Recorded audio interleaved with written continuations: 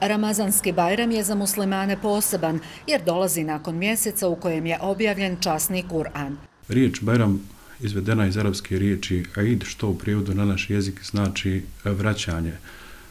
U ovom slučaju, dakle, to je vraćanje iskonskoj prirodi, e, fitretu i badetu uzvišenom Allahu Đelešanu. Ramazanski Bajram predstavlja krunu ibadeta koji su muslimani činili za vrijeme mjeseca Ramazana s ciljem postizanja viših stepena islamske, viših stepena duhovnosti. Običaj je za Bajram obući najljepše odijelo i klanjati Bajram namaz u džami.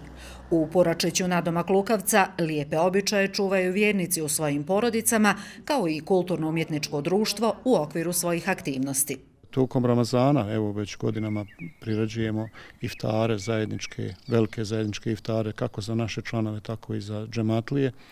E, imamo naše članice koje su također veteranke koje aktivno tokom Ramazana rade na tome da obilježavaju te ramazanske ibadete. Običaj je da muški članovi porodice nakon klanjanja Bajram namaza u džami dolaze kući da bi u krugu porodice proslavili veliki praznik.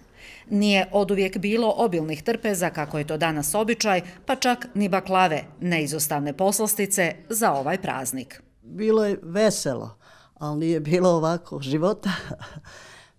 Pravila se halva i pravile se hormašce, nije bilo baklavi. Samo bila baklava kad su pohodi. Radost Bajrama velika je za djecu i mlade koji dobijaju posebnu pažnju od starijih na ovaj dan. Ja kao dijete pamtim da smo uvijek nešto novo dobili od odjeće. Dok danas djecu to toliko nije ni interesantno jer mogu reći imaju skoro pa sve. Ja kao dijete pamtim Bajrame radovala sam se i tekako prvo bajramskom ručku, a zatim ono otići Amidža strina, tetka, poljubiti ih u ruk pa dobiti neku paru. Otac kad ode u džamiju i vrati se uvijek donosio slatkiše i tome sam se najviše jel, radovala. Međutim, obilazili smo i kuće, obilazili smo komšije, rodbinu, tako da smo dobijali od njih jel, bajramluke, Bajram banku. Bajram je, kažu, u domovima muslimana najdraži gost. Treba ga dočekivati raširenih ruku i sa osmijehom, širiti dobrotu i ljubav, obići rodbinu i starije koje nema ko da obiđe, učiniti neko dobro dijelo.